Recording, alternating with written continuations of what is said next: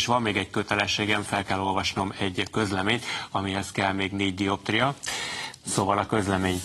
A Nemzeti, a Nemzeti Választási Bizottság a Magyar Munkáspárt kifogásának részben helyt adott és megállapította, hogy az ATV ZRT országos lineáris médiaszolgáltató 2024. június másodikán az ATV kereskedelmi médiaszolgáltatásban sugárzott 20 óra 25 perckor kezdődő fővárosi listavezetők vitája című műsorával megsértette a választási eljárásról szóló 2013. évi 36. törvény második paragrafus első bekezdés C és E pontjaiban foglalt esélyegyenlőség a jelöltek és a jelölő szervezetek között, valamint a jóhiszemű és rendeltetésszerű joggyakorlás alapelvi követelményét a Magyar Munkáspárt vonatkozásában a Nemzeti Választási Bizottság a jogsértőt eltiltotta a további jogsértéstől.